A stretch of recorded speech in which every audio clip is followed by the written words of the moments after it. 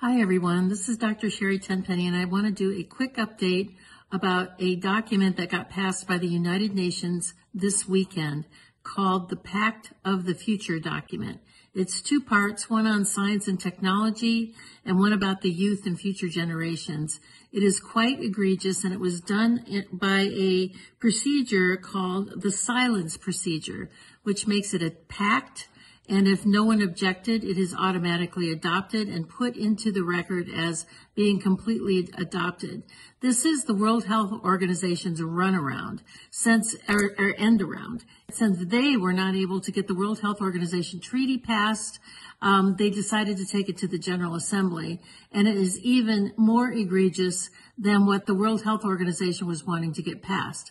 Let me just read you something really quickly about what is inside of this pact that is now being accepted by 193 nations around the world and equally open armed accepted by our current administration.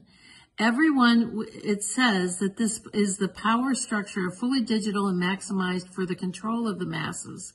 Everyone will be expected to have a biometric digital ID that marks them not just as citizens of an individual country, but as a global citizen. So anytime you hear global citizen or anytime you hear sustainability, think that this is an egregious thing that's happening at the level of the World Health Organization and the United Nations.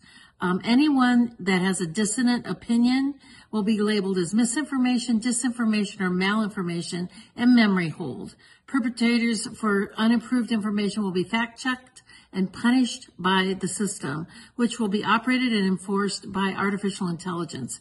Punishments will include being locked out of one's bank account, being unable to make certain purchases, unable to get on an airplane, on a subway, drive on public roads. This is the future, according to, to the world's self-appointed overlords at the United Nations. These are unelected bureaucrats that are making decisions about our country, our sovereignty around the world. Nothing could be more important at this point in time than to get prepared. Have water, food, digital access, flashlights, a, a, a, way to communicate with family and friends. Now is really the time to get involved and get prepared because this is what's coming. Our Congress is sitting on its hands.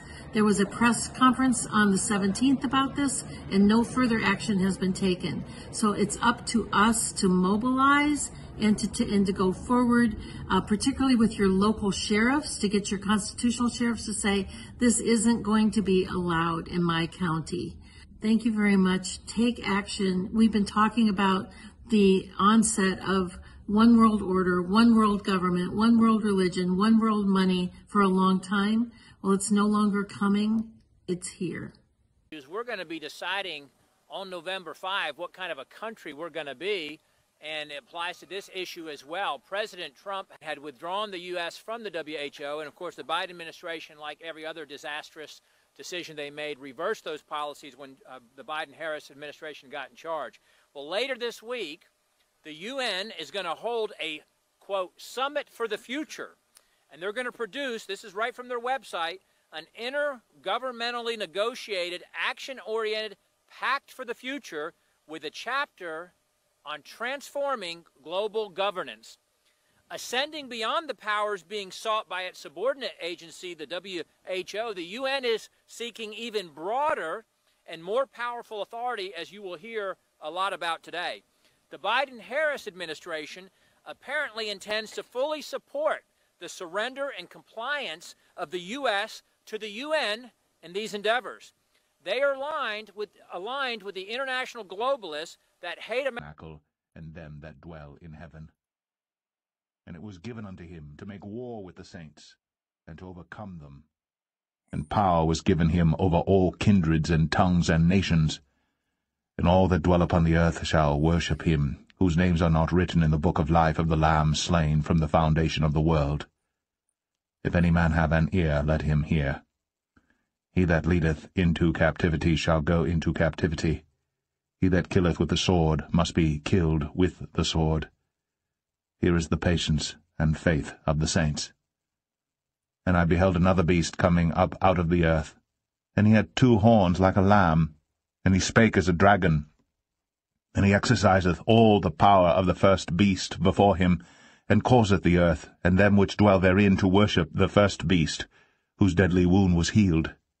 And he doeth great wonders, so that he maketh fire come down from heaven on the earth in the sight of men, and deceiveth them that dwell on the earth by the means of those miracles which he had power to do in the sight of the beast, saying to them that dwell on the earth that they should make an image to the beast, which had the wound by a sword and did live. And he had power to give life unto the image of the beast, that the image of the beast should both speak, and cause that as many as would not worship the image of the beast should be killed.